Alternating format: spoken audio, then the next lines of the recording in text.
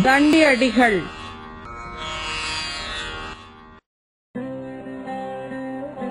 தஞ்சை மாவட்டத்தில் திருவாரூரில் பிறந்தவர். பிறவியிலே கண் பார்வையை இழந்தவர். கண்ணால் இறைவனை வழிபடுவார். திருக்கோயிலை வலம் வருவார். ஐஞ்செழுத்தை ஓதுவார்.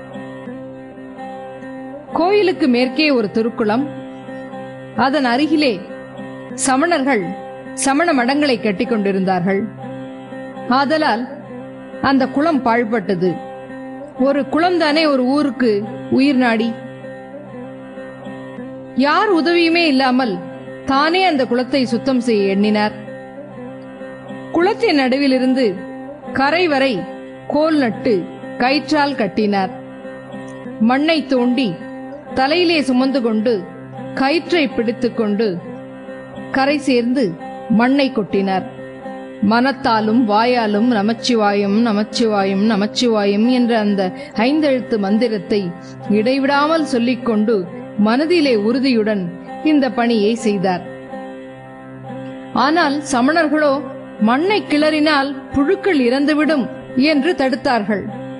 அதனை பொருட்படுத்தாமல் வேலை செய்யும் தண்டியை உனக்கு கண் தானே குருடு காதுமா செவிடு என்று கேலி பேசினார்கள்.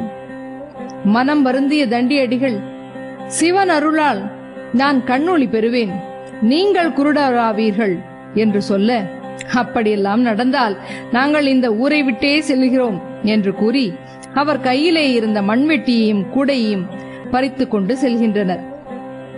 மனம் நொந்து தண்டியடிகள் சிவனிடம் முறையிட கவலைப்படாதே நாளை நீ கண்ணொளி பெறுவாய் உன் வேலையை தடுத்து கேலி செய்தவர்களுக்கு கண் பார்வை போய்விடும்.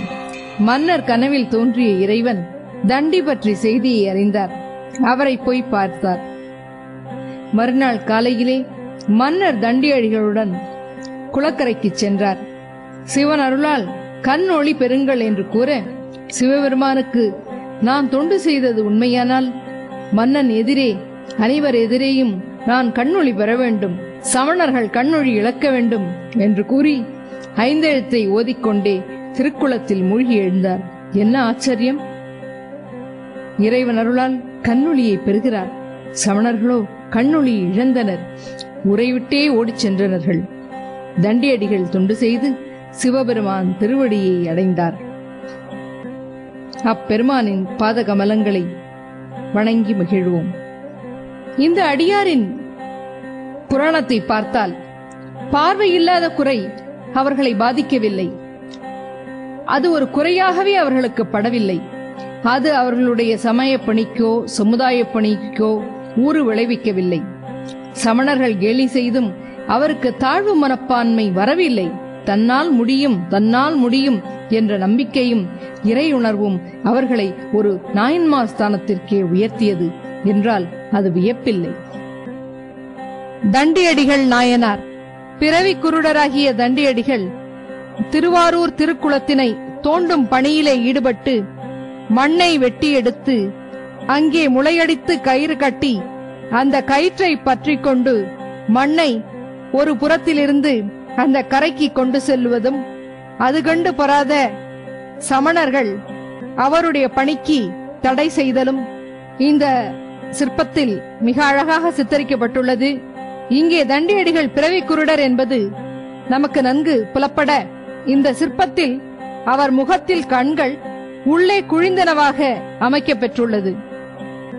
நாட்டமிகு தண்டிக்கு அடியே தண்டிக்கும் அடியேன்.